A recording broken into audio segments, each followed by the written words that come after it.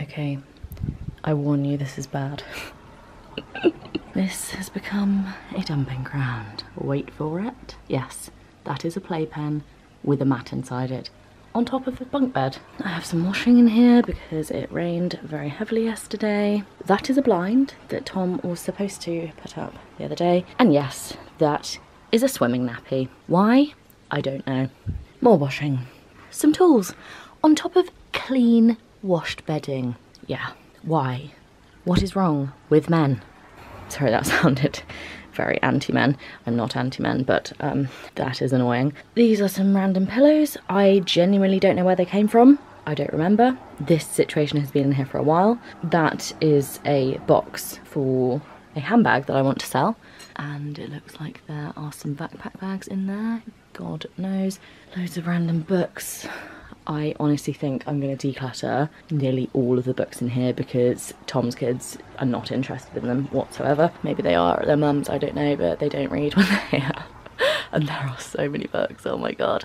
I'm not even going to show you the fish tank because it is vile. Tom clearly hasn't washed it out for ages. The fish are nothing to do with me. I have far too much on my plate already. I am not going to add cleaning a fish tank to that.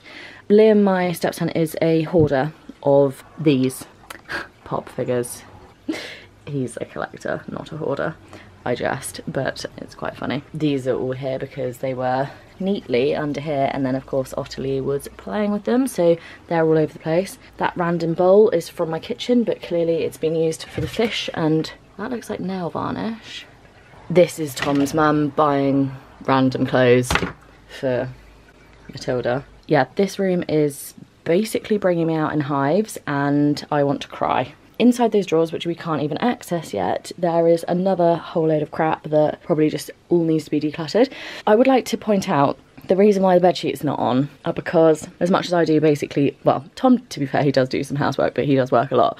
But I essentially do like pretty much everything. But I refuse to make the beds, these bunk beds, because the mattresses are too big for the beds. So basically we had some mattresses from some other beds and they were too big because the single beds were like quite big and these bunk beds are obviously smaller. And we didn't really want to have to go out and buy two more mattresses and Tom point blank was like, no way. But really hurt. and I swore blind that I would never ever make the beds again. I do sometimes put the duvet covers on but um, and the pillows but not the sheet. So as you can see, that is why that's been like that since the kids last stayed over, which was about three weeks ago. That's what happens when I try to get Tom to do some housework. Don't know what that is. Fish food there. So yeah, basically this room needs sorting out. Obviously that blind is not up and look how filthy the windows are. I don't know if you can even see that, but they are grim. Anyway, I will probably put you on a time lapse because this is just a lot. Honestly, I am like so done. Don't worry, I'm not like depressed or anything, but I am burnt out and I feel like you're my emotional support animal right now, so I'm just gonna stop.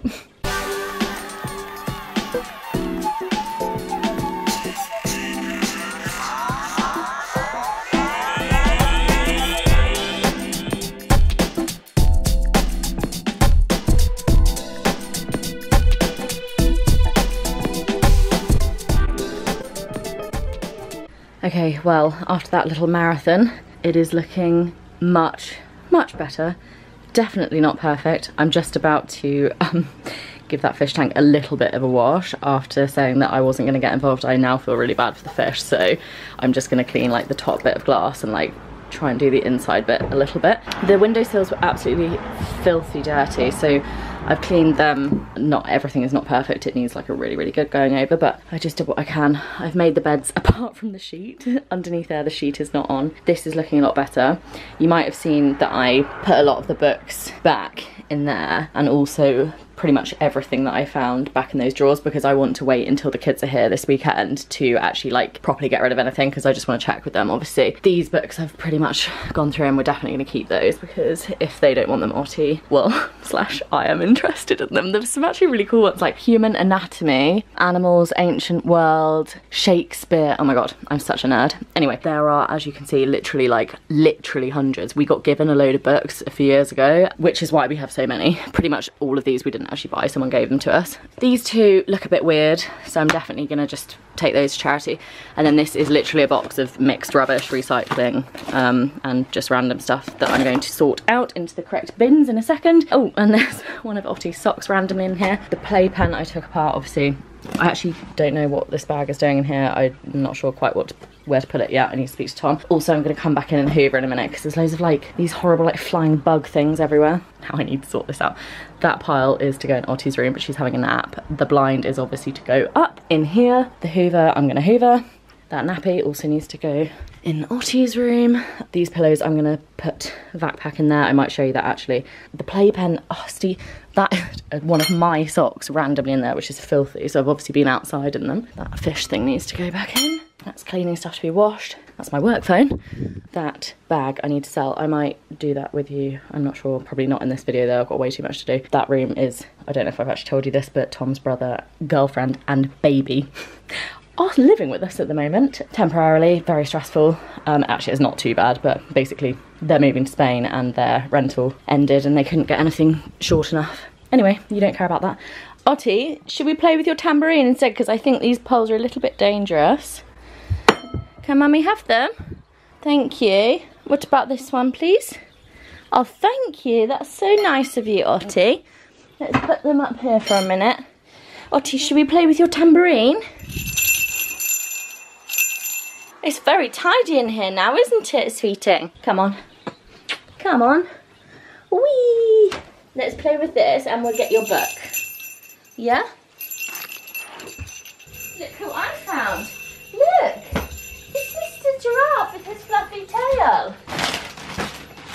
That one, didn't you? Right, Mummy's going to quickly put these in the bag and then we'll go back downstairs. I need to figure out where these came from, because I literally don't know. Oh, phew! These are not very good for small otties. Actually, they're not for eating, darling.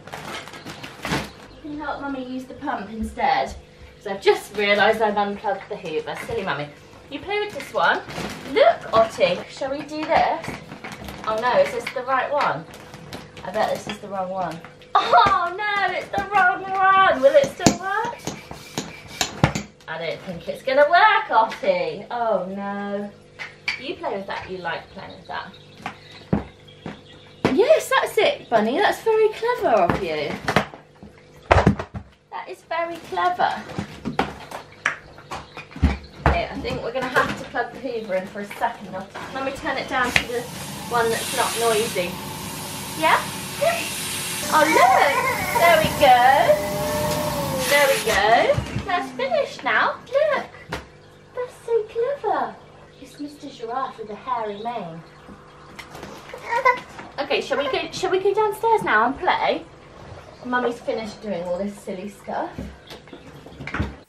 Well, Ottilie is trying to help me do this bag photography to sell it. I have, I've not been filming this, sorry. I'm just trying to get it done. Today is a very strange day. Ottie is, has not had proper nap. She's had like one random late nap instead of a morning nap and an afternoon nap. So no idea, but never mind. Are you okay? and actually also Tom is um, tends to put things on eBay for me because I just don't have time. Basically, you just want to make sure you take photos in really good natural daylight is like the ideal because you want it to be the photos to be good and clear. Obviously, with anything like this, this is not designer. Fairfax and Favor, just like a kind of country brand, but really good quality, but not like mega expensive. And actually this, I was gifted this a while ago, but I just don't use it. And I'd rather have the space and potentially, hopefully some cash from it. So I'm telling you, it's literally brand new. I, well, I've worn it I think once, but I did just really excitingly find lots of pounds in it. Six, seven pounds. I also found um, an old face mask, which is nice, and a hair clip, which is always handy, and some business cards, which are old, and some hairbands. So that was fun. Ottilie is having great fun in the box, aren't you, darling? It's very fun, isn't it? You've got some lunch on your top and something funny in your hair. What are you eating? Oh no. What is it? Mummy, see? Oh, what is that? Who on earth knows? Anyway, yes, yeah, so you basically just want to take lots of different angles, take a photo of the inside if we're talking about a bag here. Obviously, if it comes with a dust bag, definitely sell it with a dust bag. I also still have the box. So, you know how I always tell you to get rid of boxes or like appliance boxes or anything like that? Definitely yes. But if you have anything designer or like high-end high street, sorry, or like anything luxury, definitely if you're thinking about selling it at some point in the future, definitely keep the dust bags in the box because it it does add value to it or prevent it from like reducing or making well I can't think of the right word but anyway you know what I mean. Definitely not with like just bog standard high street or supermarket shop stuff like definitely not.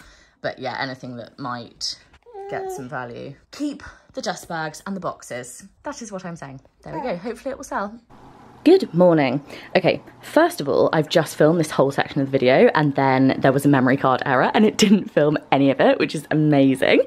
Secondly, I wasn't going to show you me remaking my bed after washing the bed sheets, but the reason I am is because I thought just a very quick tip before my linen cupboard organisation video goes live. I do bedding parcels. Before, when I just filmed this bit earlier, this whole situation was inside this one pillowcase. And so I put all of the pillow the pillowcases, the sheet, and the duvet cover inside one pillowcase and then it just means it's like a bundle and you can literally just go and grab it. This is really great if you have anyone else like your partner or anyone who makes the bed or like if your kids make their own bed they can just go and grab a parcel and that's it. They don't have to kind of root around and try and find pillowcases and sheets and duvet covers. So it just makes your life so much simpler. But some of my clients absolutely hate that thought. They like the linen cupboard laid out with pillowcases, sheets, double sheets, single sheets, etc. And if you want to do that, that's totally fine as well. But I just thought I would mention my little, now very messy, pillow bedding parcel. Talking of the linen cupboard video, I actually found the footage yesterday and oh my goodness, I don't know if I mentioned before, but I've lost like quite a lot of weight in the last few months and it really, really shows. Oh my goodness, wow. So that will be interesting to see. But yeah, I totally reorganized my linen cupboard and I actually put everything into baskets, which I will talk to you about in that video. It's kind of working, it's kind of not. So I will show you and tell you what I recommend. Anyway, I'm just gonna quickly make the bed.